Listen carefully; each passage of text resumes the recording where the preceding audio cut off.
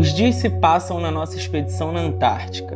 A rotina de trabalho é explorar e coletar nos ambientes mais extremos e inóspitos do continente. Esses locais sofrem pouca influência humana e animal. Os cenários não poderiam ser mais espetaculares. Depois das coletas, o momento é de organizar os materiais e fazer ciência. Começam então as análises no Fiolab, o laboratório de biossegurança da Fiocruz no continente antártico, que dá suporte às nossas pesquisas do Fiontar. O Fiolab permite que as amostras coletadas sejam analisadas rapidamente. Antes, tínhamos que esperar até voltar para o Brasil para processar o material.